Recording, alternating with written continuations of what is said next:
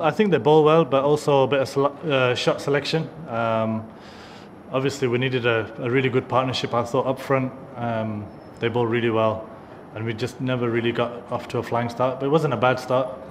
Um, and then I think we just gave our wickets away a little bit in the end, and probably wasn't smart enough. I think at the moment it's obviously very frustrating. We we are training hard. Um, we're doing the right things in training and the coaches are giving us whatever we need, but I think out on the field we probably a little bit nervous at times and feel a bit under pressure.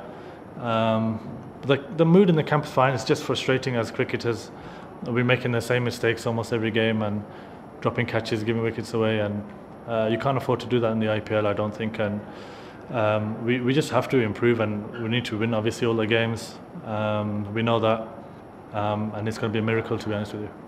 Uh, pretty much the same. I, I, think it did definitely. It was harder um, in the first six overs when we batted. Um, but the wicket is generally is quite good here. But um, again, they bowled really well in the first six, I thought, and um, the wicket did get a little bit easier, definitely. But it was still a good wicket. Uh, definitely, I think that's the only thing I can think of. I think with all the frustration, you, you feel like you.